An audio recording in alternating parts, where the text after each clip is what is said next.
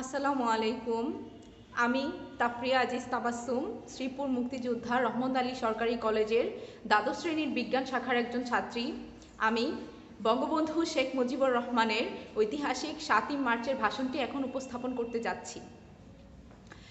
ভাইরা আমার, আজ দুঃখ ভারাক্রান্ত মন নিয়ে আপনাদের সামনে হাজির হয়েছি। আপনারা সবই জানেন এবং বোঝেন। আমরা আমাদের জীবন দিয়ে চেষ্টা করেছি। কিন্তু দুঃখের বিষয়, আজ ঢাকা, চট্টগ্রাম, খুলনা, রাজশাহী, রংপুরে আমার ভাইয়ের রক্তে রাজপথ রঞ্জিত হয়েছে। আজ বাংলার মানুষ মুক্তি চায়, বাংলার মানুষ বাঁচতে চায়, বাংলার মানুষ তার অধিকার চায়। কি অন্যায় করেছিলাম? নির্বাচনের পরে বাংলাদেশের মানুষ সম্পূর্ণভাবে আমাকেও আওয়ামী লীগকে ভোট দেন। আমাদের ন্যাশনাল অ্যাসেম্বলি বসবে। আমরা সেখানে শাসনতন্ত্র তৈরি করব এবং এদেশকে আমরা গড়ে তুলব। এদেশের মানুষ অর্থনৈতিক, রাজনৈতিক ও সাংস্কৃতিক মুক্তি পাবে। কিন্তু দুঃখের বিষয়, আজ দুঃখের সাথে বলতে হয়, তেইশ বছরের করুণ ইতিহাস বাংলার অত্যাচারের। তেইশ বছরের করুণ ইতিহাস মুমূর্ষ নরনারীর আর্তনাদের ইতিহাস। বাংলার মানুষের রক্ত দিয়ে রাজপথ রঞ্জিত করার ইতিহাস। উনিশশো সালে রক্ত দিয়েছি, উনিশশো চুয়ান্ন সালে নির্বাচনে জয়লাভ করে আমরা গদিতে বসতে পারি নাই। উনিশশো আটান্ন সালে আয়ুব খান মার্শাল ল জারি করে দশ বছর পর্যন্ত আমাদের গোলাম করে রেখেছে। উনিশশো সালের ছয় দফা আন্দোলনের সাতই জুন আমার ছেলেদের গুলি করে হত্যা করা হয়েছে। উনিশশো উনসত্তর সালে আইয়ুব খানের পতন হওয়ার পর যখন ইয়াহিয়া খান সাহেব সরকার নিলেন, তিনি বললেন, তিনি শাসনতন্ত্র দেবেন, গণতন্ত্র দেবেন, আমরা মেনে নিলাম। তারপর অনেক ইতিহাস হলো, নির্বাচন হলো। আমি প্রেসিডেন্ট ইয়াহিয়া খান সাহেবের সাথে কথা বলেছি। আমি শুধু বাংলার নয়, আমি আমি পাকিস্তানের মেজরিটি পার্টির নেতা হিসেবে তাকে অনুরোধ করলাম। আপনি পনেরোই ফেব্রুয়ারি তারিখে জাতীয় পরিষদের অধিবেশন দেন। তিনি তিনি আমার কথা রাখলেন না। তিনি রাখলেন ভুট্টো সাহেবের কথা। তিনি বললেন, প্রথম সপ্তাহ মার্চ মাসে হবে। আমি বললাম, ঠিক আছে, আমরা অ্যাসেম্বলিতে বসবো। এমনকি আমি এ পর্যন্ত বললাম, যদি কেউ ন্যায্য কথা বলে, আমরা সংখ্যায় বেশি হলেও একজনও যদি সে হয়, আমরা তার ন্যায্য কথা মেনে নেব। জনাব ভুট্টু সাহেব এখানে এসেছিলেন, আলোচনা করলেন। তিনি বলে গেলেন, আলোচনার দরজা বন্ধ নয়, আরও আলোচনা হবে। আমরা অন্যান্য নেতাবৃন্দদের সঙ্গে আলাপ আলোচনা করলাম। আপনারা আসুন, বসুন, আমরা আলাপ আলোচনা করে শাসনতন্ত্র তৈয়ার করব এবং এদেশকে আমরা গড়ে তুলব। তিনি বললেন, পশ্চিম পাকিস্তানের মেম্বাররা যদি অ্যাসেম্বলিতে আসে, তাহলে কসাইখানা হবে অ্যাসেম্বলি। যে যাবে তাকে মেরে ফেলা হবে। তিনি আরও বললেন, পশ্চিম পাকিস্তানের মেম্বাররা যদি অ্যাসেম্বলিতে আসে, পেশোয়ার থেকে করাচি পর্যন্ত দোকান জোর করে বন্ধ করে দেওয়া হবে। আমি বললাম, অ্যাসেম্বলি চলবে। তারপর হঠাৎ বন্ধ করে দেওয়া হলো অ্যাসেম্বলি। আমি প্রেসিডেন্ট ইয়াহিয়া খান সাহেবের সাথে কথা বলে, তিনি পাকিস্তানের প্রেসিডেন্ট হিসেবে অ্যাসেম্বলি কল করেছেন। আমি বললাম, আমি যাব। ভুট্টু সাহেব বললেন, তিনি যাবেন না। তারপর হঠাৎ বন্ধ করে দেওয়া হলো অ্যাসেম্বলি দোষ দেওয়া হলো আমাকে। দোষ দেওয়া হলো বাংলার মানুষকে। আমি বললাম, আপনারা শান্তিপূর্ণভাবে হরতাল পালন করেন। রাস্তাঘাট যা কিছু আছে সব কিছু বন্ধ করে দেন। জনগণ সাড়া দিল। তারা আপন ইচ্ছায় হরতাল পালনের জন্য দৃঢ় প্রতিজ্ঞাবদ্ধ হলো। কি পেলাম আমরা? আমার পয়সা দিয়ে অস্ত্র কিনেছি বহিঃশত্রু হাত থেকে এদেশকে রক্ষা করার জন্য। আজ সেই অস্ত্র ব্যবহার হচ্ছে আমার দেশের মানুষের উপর। তাদের বুকের উপর হচ্ছে গুলি। আমরা পাকিস্তানের সংখ্যাগুরু। আমরা যতবারই ক্ষমতায় যাবার চেষ্টা করেছি, তারা আমাদের উপর ঝাঁপিয়ে পড়েছে। আমি পাকিস্তানের প্রেসিডেন্ট ইয়াহিয়া খান সাহেবের সাথে কথা বলেছি। আপনি পাকিস্তানের প্রেসিডেন্ট, আপনি আসুন, দেখুন কীভাবে আমার বাংলার মানুষের উপর অত্যাচার হচ্ছে, কীভাবে তাদের বুকের উপর হচ্ছে গুলি কি করে আমার মায়ের কোল খালি করা হচ্ছে? আপনি আসুন, দেখুন, বিচার করুন।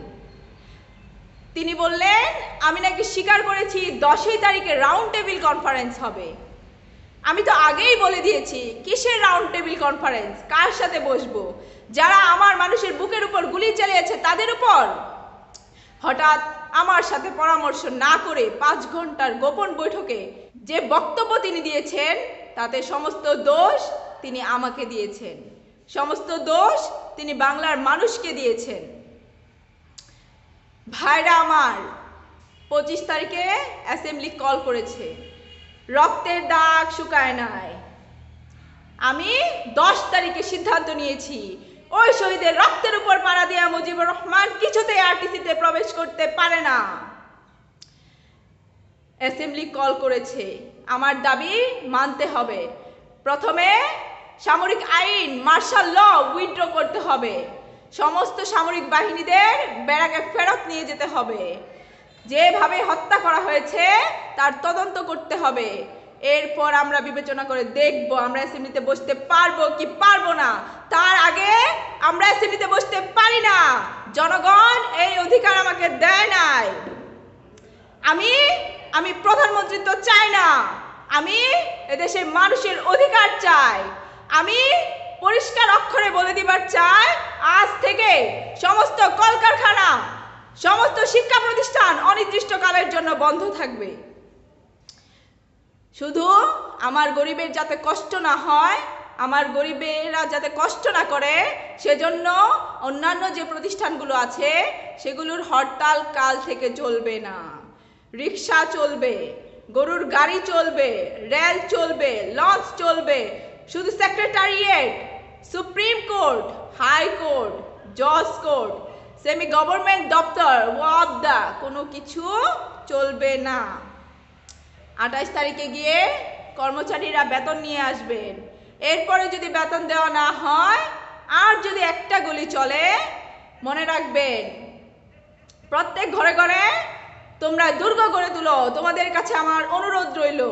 তোমাদের যা কিছু আছে, তাই নিয়ে শত্রুর মোকাবেলা করতে হবে। আমি যদি তোমাদের হুকুম দেবার নাও পারি, তোমরা রাস্তাঘাট যা কিছু আছে, জীবনের তরে বন্ধ করে দেবে। মনে রাখবা, আমরা ভাতে মারবো, আমরা পানিতে মারবো। তোমরা আমার ভাই, তোমরা বেড়াকে থাকো, কেউ তোমাদের কিছু বলবে না।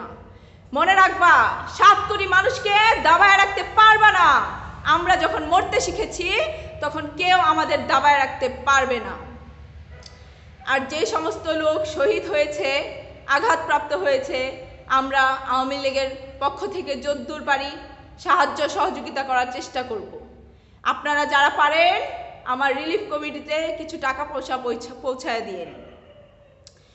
আর এই সাত দিন যে সমস্ত শ্রমিক ভাইরা হরতালে যোগদান করেছেন, তারা নিজ নিজ কলকারখানা থেকে বেতন নিয়ে আসবেন সরকারি কর্মচারীদের বলি, আমি যা বলি তা মানতে হবে। যতদিন পর্যন্ত এদেশের মুক্তি না হচ্ছে, আপনারা কেউ কোনো খাজনা ট্যাক্স দেবেন না। সমস্ত কিছু বন্ধ করে দেন। মনে রাখবেন, শত্রু বাহিনী ঢুকেছে, নিজেদের মধ্যে আত্মকলহ সৃষ্টি করবে। আমরা বাঙালি, অবাঙালি যারা আছি, সবাই আমরা ভাই। তাদের রক্ষা করার দায়িত্ব আপনাদের হাতে। মনে রাখবেন, আমাদের যেন বদনাম না হয়। রেডিও টেলিভিশনের কর্মচারীদের বলি, আমি যা বলি, তা মানতে হবে। যদি রেডিওতে আমাদের নিউজ না শুনে, কোনো বাঙালি রেডিও স্টেশনে যাবেন না। যদি টেলিভিশনে আমাদের নিউজ না দেয়, কোনো বাঙালি টেলিভিশনে যাবেন না। দুই ঘণ্টা ব্যাংক খোলা থাকবে, যাতে এদেশের মানুষ তাদের মাইনেপত্র নিতে পারে। কিন্তু পূর্ব পাকিস্তান থেকে পশ্চিম পাকিস্তানে এক পয়সাও চালান হতে পারবে না। টেলিফোন, টেলিগ্রাম শুধু পূর্ব বাংলায় চলবে। পশ্চিম পাকিস্তানে কোনো কিছু চলবে না। কিন্তু যদি এদেশের মানুষকে খতম করার চেষ্টা করা হয়, আপনারা বুঝে শুনে কাজ করবেন।